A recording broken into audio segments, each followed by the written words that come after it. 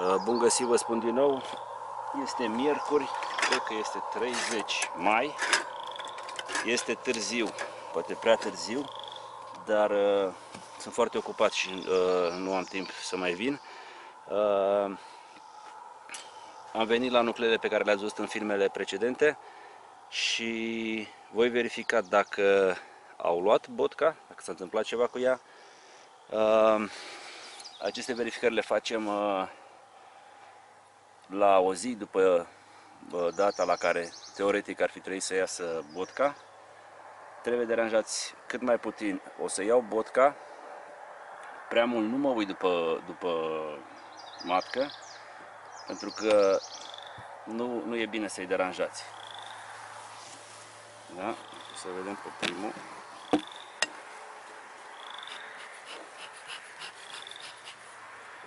Să scot o ramă afară ca să-mi fac loc. Deci, practic, mă uit dacă a ieșit din botcă. Dacă a ieșit din botcă, înseamnă că e în regulă.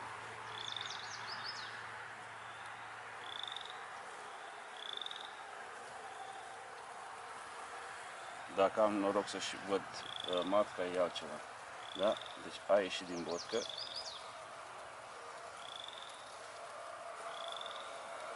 Ceea ce fac acum nu prea fac. Deci să mă uit de ea. Dar dacă cumva se nimerește să fie, să o și vedeți. Da, este aici. Nu știu cât se vede, vă spuneam mai târziu. Este chiar aici. Ia uitați. Sper să vadă. Deci deranjați cât mai puțin. Aceasta este una. Condiții normale nu mă uit de ea. Iau numai botca afară. Și dacă văd că a ieșit, uh, o las în pace. În cazul în care au rost botca sau uh, ați văzut ploua, era frig uh, și poate să, să înghețe și atunci măcar știu și când vine următoarea tură de, de boci, uh, știu că trebuie să mai dau o botcă. Îi voi mai deschide peste, depinde de vreme, din nou. S-a mai îndreptat un pic vremea, îi voi mai deschide peste 10 zile, când uh, ar trebui să avem, uh, să înceapă să ouă. Și aceasta a ieșit. Da?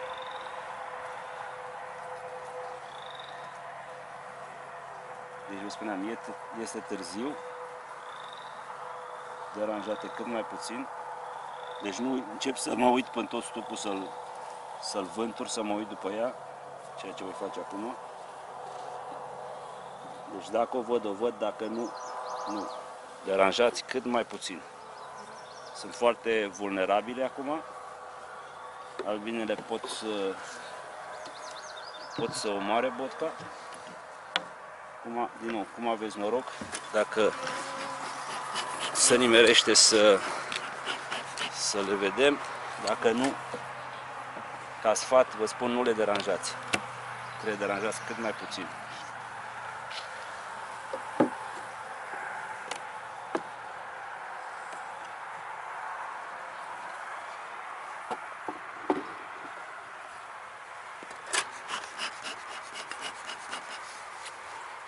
și fum iară, din nou cât mai puțin. Este târziu.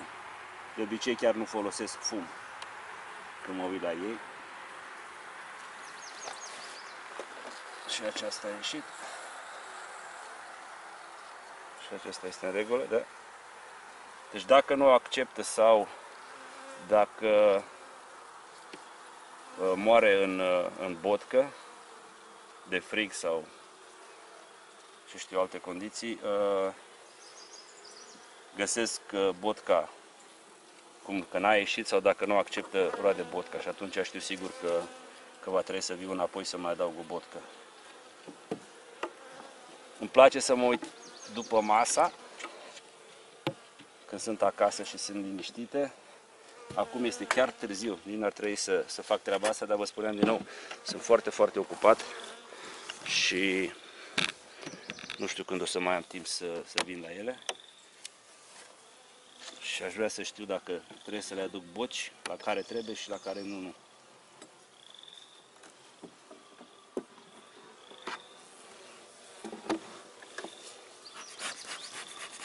Aproape că nu se mai vede nimic. Se întunecă repede. S-a mai îndreptat vremea, un lucru bun. Slavă Domnului! Eram făcut de ploaie. Asta a ieșit. Le vedeți cât de, de agitate și nu pentru că e, în primul rând, că este și târziu, dar din cauza că au, uh, au matcă virgină și așa, de regulă așa reacționează, fug param într-una. Și de aia zic, nu e bine să deranjați. Nu o văd.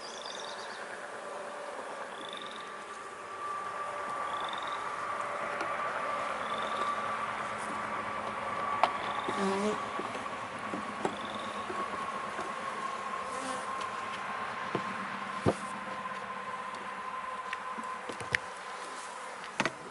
la aceștia alții.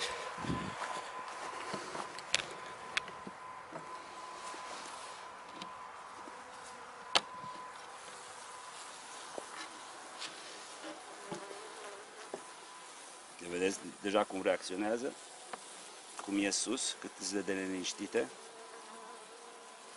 E și din cauza că e târziu, dar așa fac de regulă. Când au matcă virgină, uh, sunt foarte protective și poate să reacționeze de ceva de genul acesta.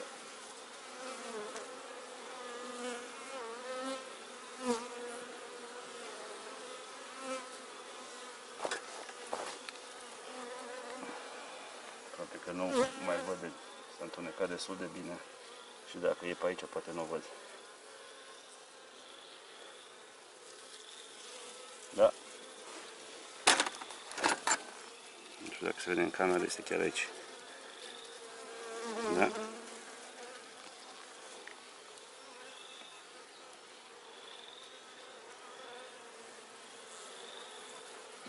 Dar vă spuneam, în general nu mă uit de ea. Mă uit doar la botcă.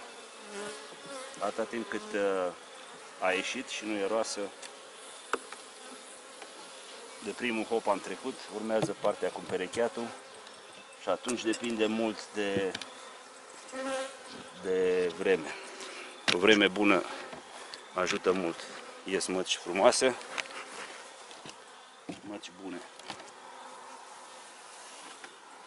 Vreme ploioasă, a- cineva mă întreba, am mai discutat despre treaba aceasta, dacă ar fi să fie a mea, dânsul spune că vine de la un stup productiv, schimbare liniștită, poate aș mai aștepta. În general de la stupii buni uh, uh, măcile sunt bune, deci în cazul în care își pierde un pic din cauza că n-a putut să iasă, Budcă e aici. Da, și matca e aici. Chiar aici. Da. Uh, spuneam, chiar dacă nu poate să iasă la împerecheat, poate nu o să ducă mulți ani, 2-3 ani, poate după un an de zile vor încerca să o schimbe din nou.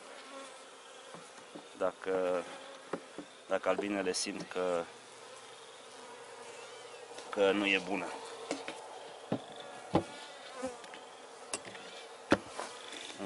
Și... Dar pare să fie în regulă până acum.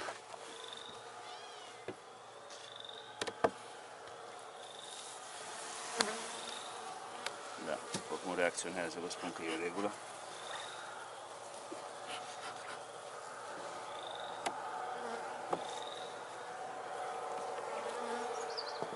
Sau sper să fie în regulă. Dar în general așa fac. Când dau virgină, imediat sunt sagită fug pe ramă, matca se spere, deci o matcă de bun. Asta nu pot bine.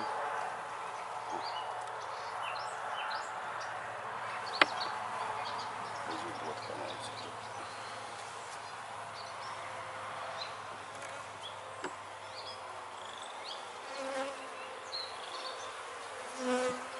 Asta e bine.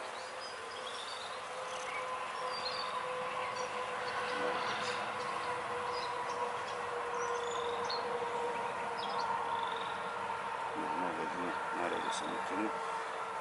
Dar din nou, a ieșit, da?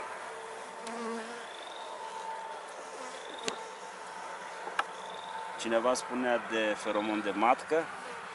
Feromonii de matcă ajută.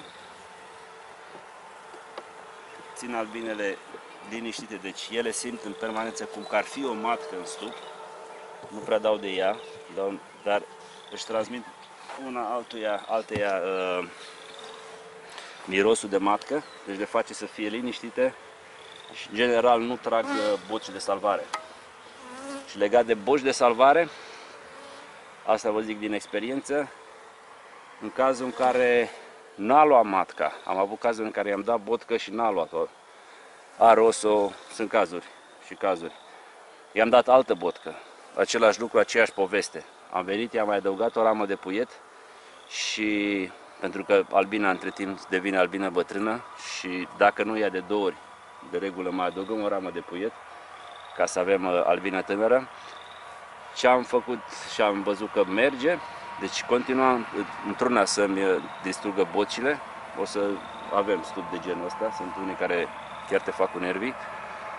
Uh, îi puneam botcă, el făcea uh, botcă de salvare. Asta și în varianta în care are feromon de matcă. Feromonul de matcă la asta ajută în mare parte. Uh, albinele sunt un pic mai liniște și nu-și trag boci de salvare, pentru că simt ca o matcă. Și ce am observat, botca pe care, ultima pe care am dat-o, el continua să facă botcă de salvare, i-am rupt botca de salvare și am pus botca mea exact unde a fost botca de salvare și, și atunci a acceptat-o. Și începând din acel moment, când nu mi-acceptă botcă, o roade, și își trage până la urmă botcă de salvare, botca următoare eu voi pune, eu rup pe cea de salvare și o voi pune exact în același loc în care a fost botca de salvare și vă spun, până acum aș putea spune chiar 100% îmi iau bocile dacă le pun exact unde este botca pe care ele le fac, botca de salvare. Puteți să încercați. Deci, din nou, sunt stupi și stupi. Sunt stupi care, uh, sau nuclee, cum, cum vreți să le spuneți, care, și în cazul stupilor puteți încerca la fel. Deci bot, dacă vreți să adăugați o botcă unui stup, eu mărând matca, nu vă acceptă botca, își trage bot de salvare, dacă vreți să-i mai dați o botcă, puneți-o exact unde este botca de salvare, rupeți-o și puneți botca dumneavoastră în același loc și o să vedeți că o ia. Cam atât, s-a întunecat destul de mult, uh, mă duc și eu acasă că e târziu. Vă salut și numai bine!